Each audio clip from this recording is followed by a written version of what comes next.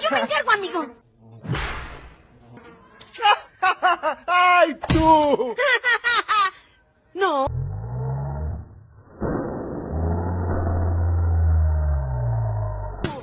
De acuerdo. ¡Ven aquí! ¡Bi, bi, bi,